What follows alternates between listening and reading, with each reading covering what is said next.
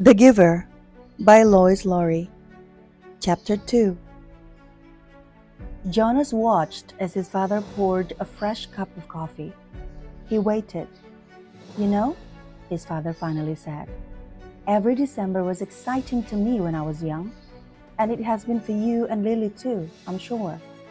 Each December brings such changes. Jonas nodded he could remember the Decembers back to when he had become, well, probably a four. The earlier ones were lost to him, but he observed them each year, and he remembered Lily's earliest Decembers. He remembered when his family received Lily, the day she was named, the day that she had become a one. The ceremony for the ones was always noisy and fun. Each December, all the new children born in the previous year turned one. One at a time, there were always 50 in each year's group.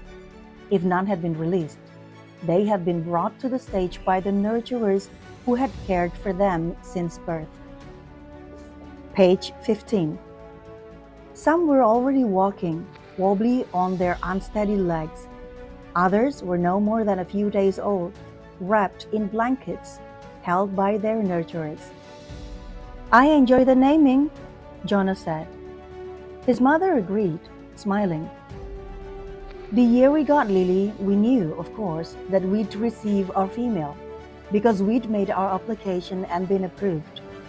But I'd been wondering and wondering what her name would be. I could have sneaked a look at the list prior to the ceremony, father confided. The comedy always makes the list in advance, and it's right there in the office at the nurturing center. As a matter of fact, he went on, I feel a little guilty about this, but I did go in this afternoon and looked to see this year's naming list had been made yet. It was right there in the office, and I looked up number 36. That's the little guy I've been concerned about. Because it occurred to me that it might enhance his nurturing if I could call him by a name. Just privately, of course, when no one else is around. Did you find it? Jonas asked. He was fascinated.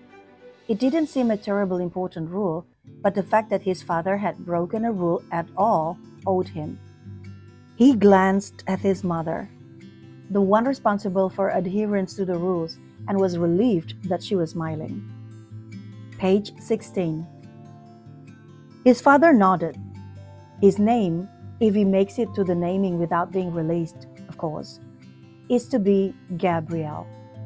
So I whisper that to him when I feed him every four hours and during exercise and playtime, if no one can hear me.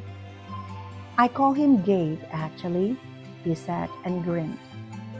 Gabe, Jonas tried it out. A good name, he decided. Though Jonas had only become a five the year that they acquired Lily and learned her name, he remembered the excitement, the conversations at home, wondering about her, how she would look, who she would be, how she would fit into their established family unit. He remembered climbing the steps to the stage with his parents, his father by his side that year, instead of with the nurturers since it was the year that he would be given a new child of his own.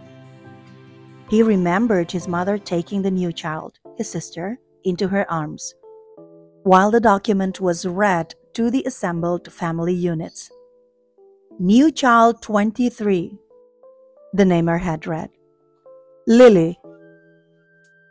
He remembered his father's look of delight and that his father had whispered, she is one of my favorites. I was hoping for her to be the one. The crowd had clapped, and Jonas had grinned. He liked his sister's name. Lily, barely awake, had waved her small fist. Then they had stepped down to make room for the next family unit. Page 17. When I was an 11, his father said now, as you are, Jonas, I was very impatient, waiting for the ceremony of 12. It's a long two days. I remember that I enjoyed the ones, as I always do, but that I didn't pay much attention to the other ceremonies except for my sisters. She became a nine that year and got her bicycle. I'd been teaching her to ride mine, even though technically I wasn't supposed to. Jonas laughed. It was one of the few rules that was not taken very seriously and was almost always broken. The children all received their bicycles at nine. They were not allowed to ride bicycles before then. But almost always, the older brothers and sisters had secretly taught the younger ones. Jonas had been thinking already about teaching Lily. There was talk about changing the rule and giving the bicycles at an earlier age. A committee was studying the idea.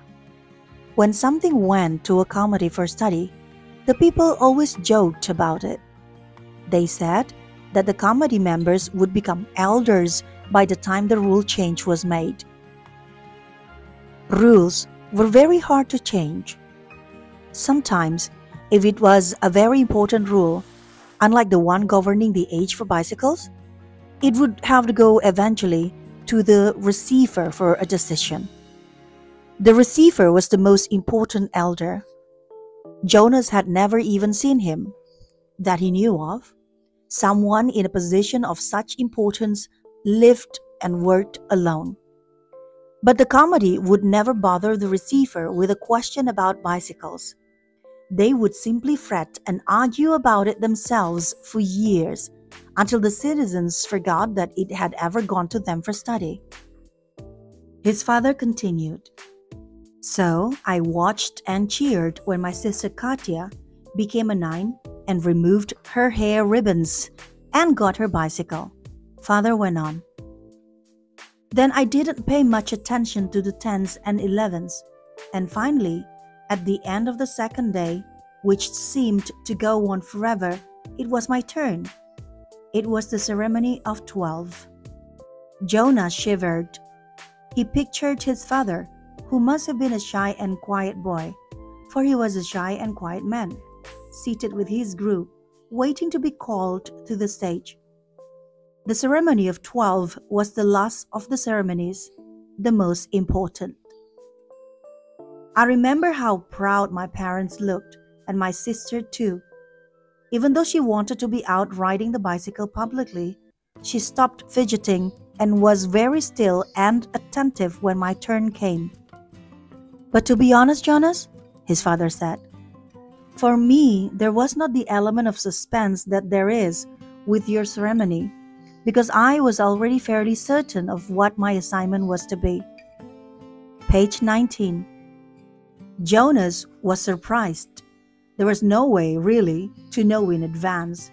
It was a secret selection made by the leaders of the community, the Committee of the Elders, who took the responsibility so seriously that there were never even any jokes made about assignments. His father smiled his gentle smile. Well, it was clear to me, and my parents later confessed that it had been obvious to them too what my aptitude was. I had always loved the new children more than anything. When my friends in my age group were holding bicycle races, or building toy vehicles, or bridges with their construction sets, or all the things I do with my friends, Jonas pointed out. And his mother nodded in agreement. I always participated, of course, because as children, we must experience all of those things. And I studied hard in school as you do, Jonas. But again and again, during free time, I found myself drawn to the new children. I spent almost all of my volunteer hours helping in the nurturing center. Of course, the elders knew that from their observation. Page 20. Jonas nodded.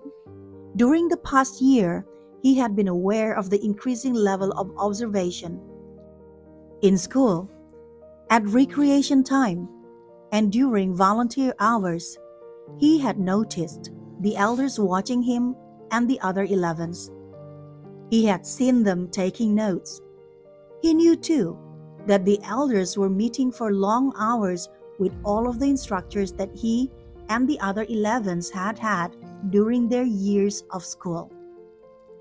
So, I expected it, and I was pleased, but not at all surprised when my assignment was announced as a nurturer. Father explained. Did everyone applaud even though they were not surprised? Jonas asked. Oh, of course. They were happy for me that my assignment was what I wanted most. I felt very fortunate, his father smiled. Were any of the 11s disappointed your year? Jonas asked. Unlike his father, he had no idea what his assignment would be, but he knew that some would disappoint him. Though he respected his father's word, nurturer would not be his wish, and he didn't envy laborers at all. His father thought, No, I don't think so. Of course, the elders are so careful in their observations and selections. I think it's probably the most important job in our community, his mother commented. Page 21. My friend Yoshiko was surprised by her selection as doctor, father said, but she was thrilled. And let us see, there was Andre. I remember that when we were boys, he never wanted to do physical things. He spent all the creation time he could with his construction set, and his volunteer hours were always on building sites. The elders knew that, of course, Andre was given the assignment of engineer and he was delighted.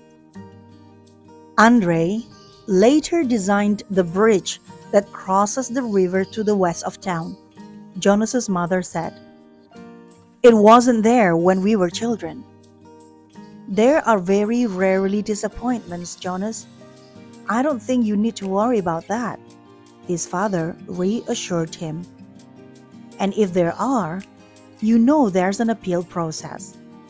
But they all laughed at that. An appeal went to a committee for study. I worry a little about Asher's assignment, Jonas confessed. Asher's such fun, but he doesn't really have any serious interests. He makes a game out of everything. His father chuckled. You know, he said, I remember when Asher was a new child at the nurturing center before he was named. He never cried. He giggled and laughed at everything. All of us on the staff enjoyed nurturing Asher. The elders know Asher, his mother said. They will find exactly the right assignment for him. I don't think you need to worry about him. Page 22. But Jonas, let me warn you about something that may not have occurred to you. I know I didn't think about it until after my ceremony of 12. What's that? Well, it's the last of the ceremonies, as you know. After 12, age isn't important. Most of us even lose track of how old we are as time passes.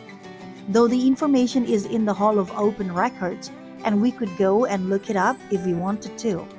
What's important is the preparation for adult life and the training you'll receive in your assignment. I know that, Jonas said. Everyone knows that. But it means, his mother went on, that you will move into a new group, and each of your friends will. You'll no longer be spending your time with your group of 11s. After the ceremony of 12, you'll be with your assignment group, with those in training. No more volunteer hours, no more recreation hours. So your friends will no longer be as close. Jonas shook his head. Asher and I will always be friends, he said firmly. And there will still be school. That's true, his father agreed. But what your mother said is true as well. There will be changes. Good changes, though, his mother pointed out. After my ceremony of 12, I missed my childhood recreation.